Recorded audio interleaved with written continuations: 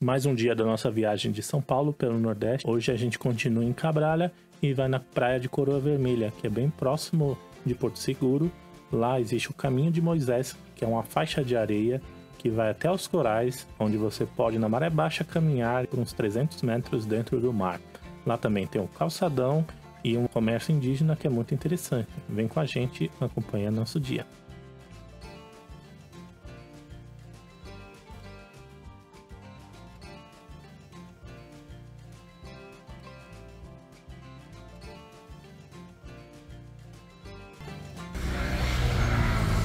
Décimo primeiro dia hoje de viagem. Hoje a gente vai passear pela praia da Coroa Vermelha. Vamos ver o que tem, como são as lojinhas. Parece que tem algumas partes de aldeia indígena e lojas. Vamos conhecer um pouquinho do lugar. Andando aqui no calçadão, tem diversas lojas, desde roupa de praia, biquíni, artesanato, lembrancinha, chapéu, água de coco, muita coisa bonita.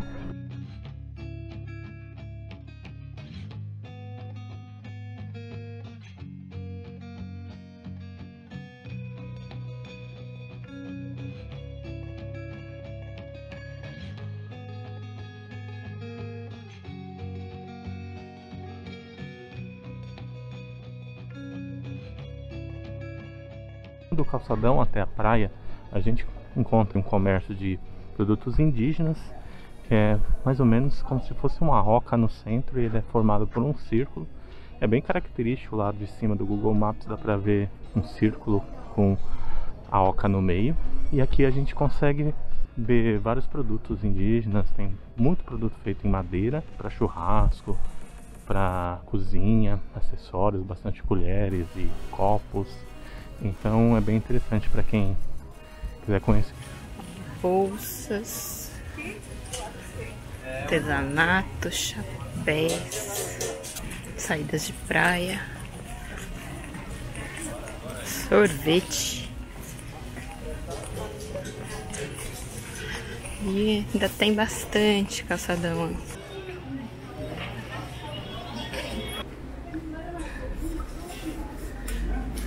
Os sorvetes mais simples são 5 e os mais premium são 8. A gente pegou um de pistache por 8.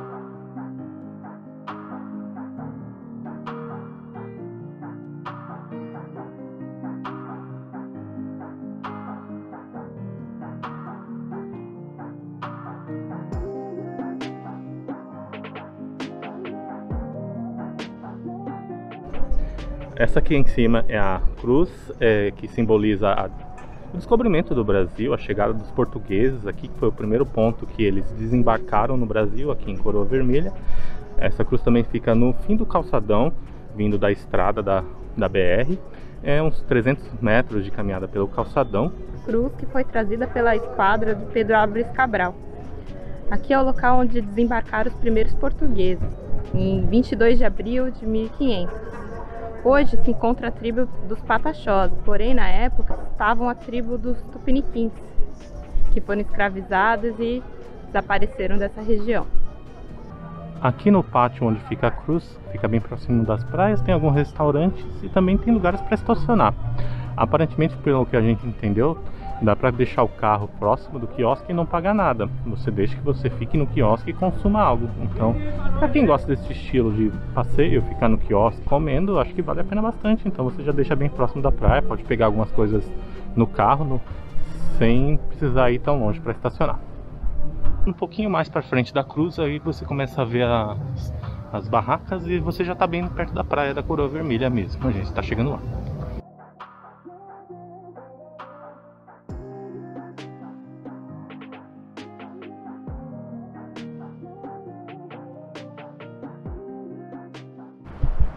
Está aqui na Coroa Vermelha, no caminho de Moisés. Vocês podem ver aqui dos dois lados. A gente está bem no, no, meio do caminho, um pouquinho menos no meio.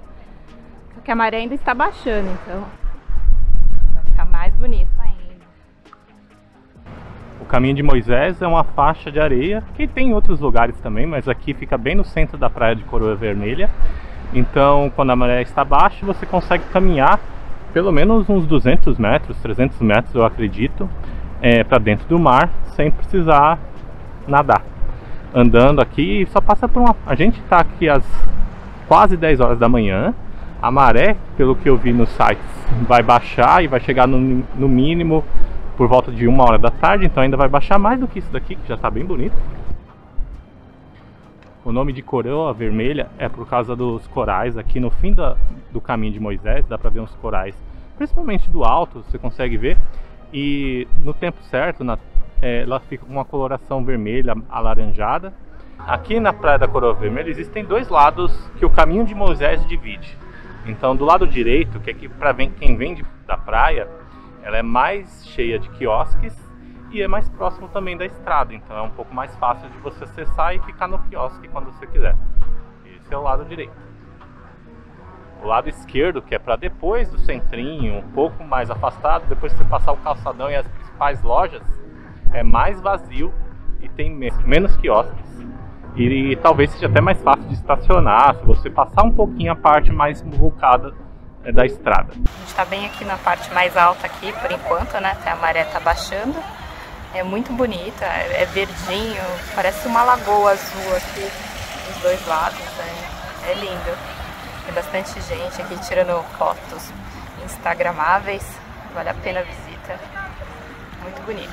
Vale a pena vir aqui passar o dia inteiro, dê uma olhadinha sempre na tábua da, da maré para ver qual horário que vai estar mais baixo para você aproveitar o caminho inteiro de Moisés.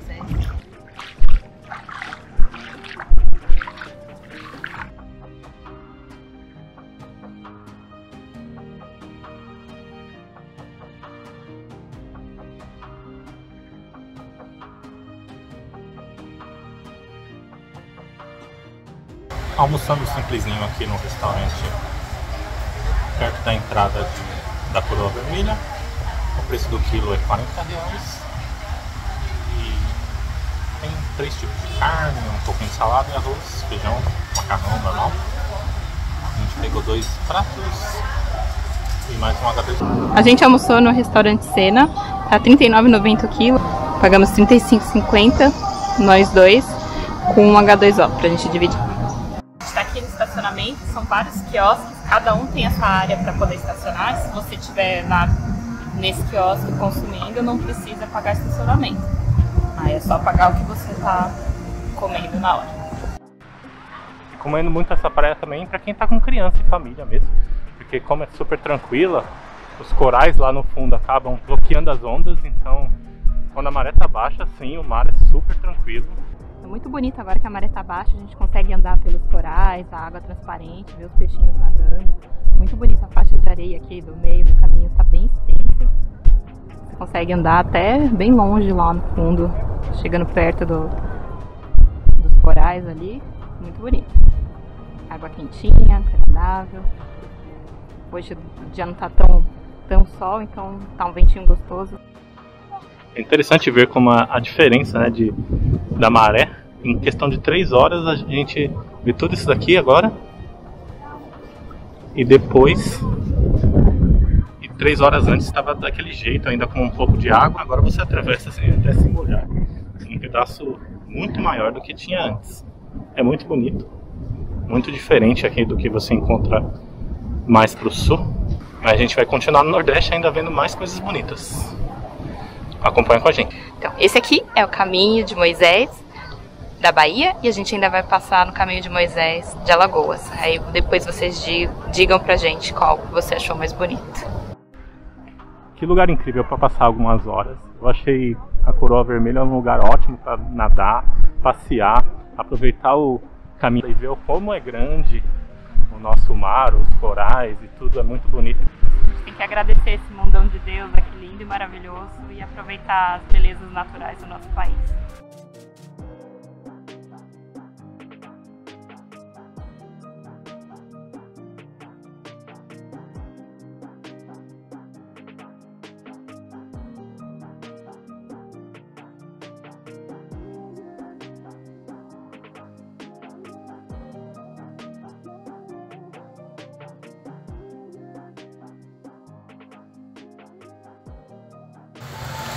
Tudo meu, três cocos. hidratando aqui por 3 cocos por 10 e vou pedir pra ele cortar pra gente comer a carne. Vou comer a carninha do coco. Aqui a colher, feita de coco. e aí você vem aqui, ó. Vai raspando aqui. Comendo.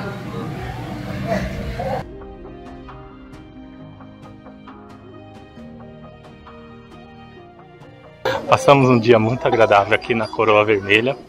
Agora é hora de voltar pro hotel, dar uma descansadinha. Depois talvez só fazer uma janta mais simples. Para encontrar alguma coisa para comer, vamos tentar comprar uma coisa simplesinha que a gente não tá com muita fome.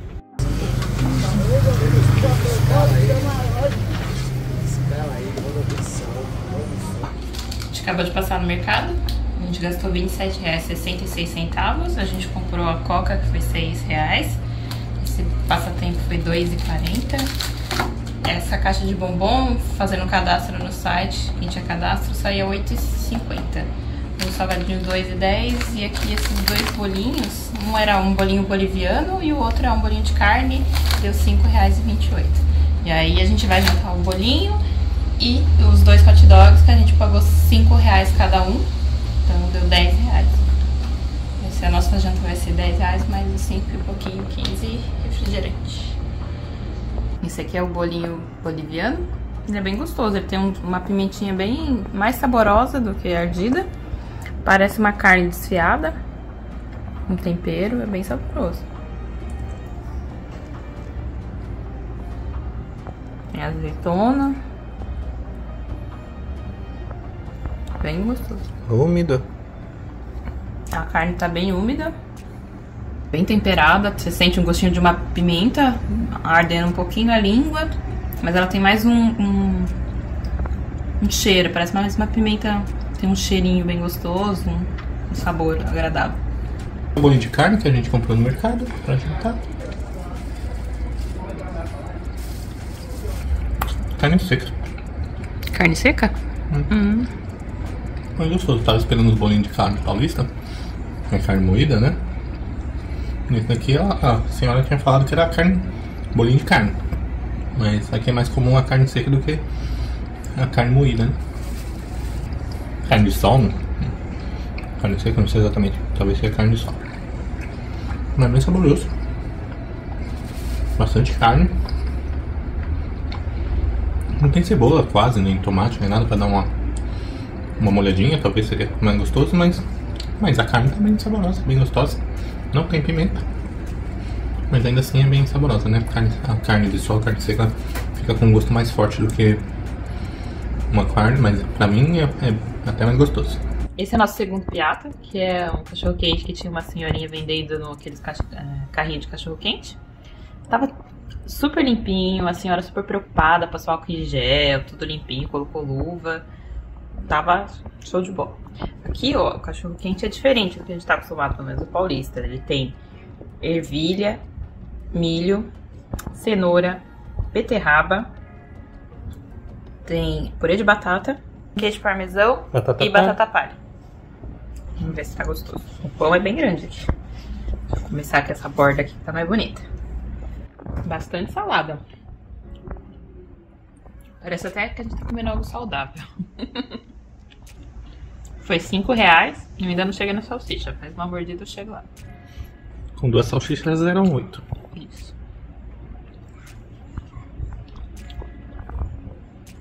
Tá bem gostoso. A gente está encerrando o nosso 11 dia da nossa viagem pelo Nordeste. Hoje o dia foi muito bacana, a gente conheceu a Coroa Vermelha, que é sensacional. E agora a gente vai dormir.